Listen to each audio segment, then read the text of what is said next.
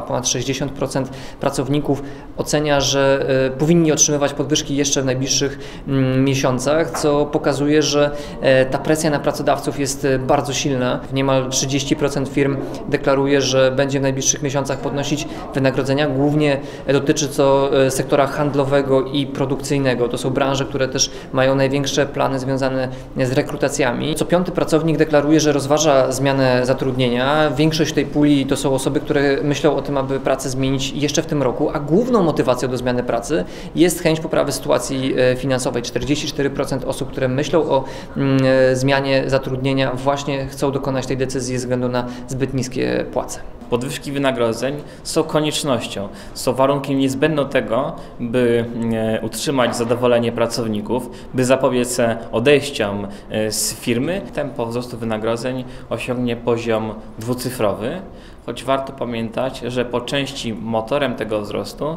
e, będą e, zmiany miejsca e, pracy przez pracowników.